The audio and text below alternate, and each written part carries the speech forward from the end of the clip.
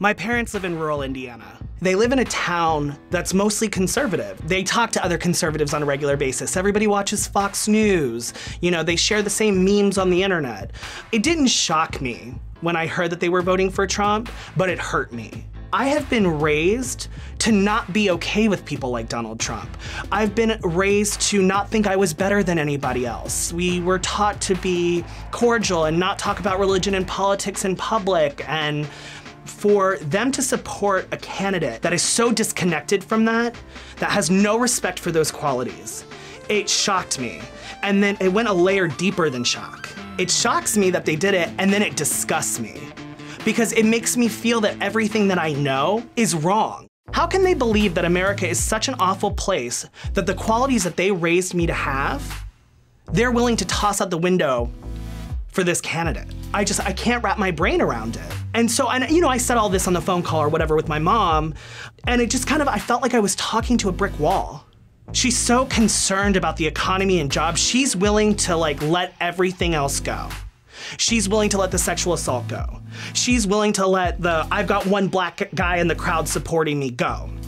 She's willing to let go the fact that he ridiculed a disabled reporter. Because all she knows is that people like her are losing their jobs. People like her are losing their retirements. People like her are losing their health benefits. And she doesn't believe someone like Hillary Clinton can help.